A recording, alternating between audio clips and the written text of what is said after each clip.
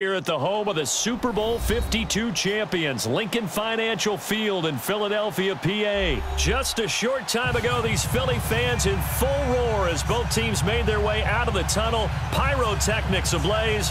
They're set to go as their Eagles will match up